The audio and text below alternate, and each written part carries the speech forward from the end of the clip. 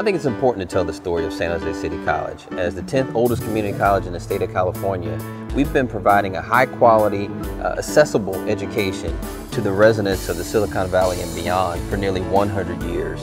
Uh, we're very proud of that.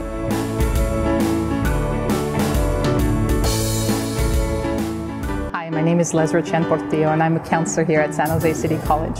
Uh, I also teach a course called Guidance 10, Transfer Success. It's a one unit uh, short course. It's only eight weeks long. It's both transferable to the UC and to the CSU system. And this course really allows students to walk through many of the questions that they have about transfer. It's also an introduction to the Career Transfer Center and the beginning of a relationship.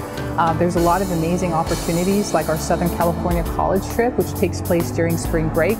Uh, we visit seven campuses in Southern California. It's all paid for and students get a chance to attend that. Through the course, we encourage students to do things like apply for scholarships. We've had students um, get as much as $10,000 just because they applied for a scholarship. So really encourage students to um, check out our course and see us at the Career Transfer Center. Thank you.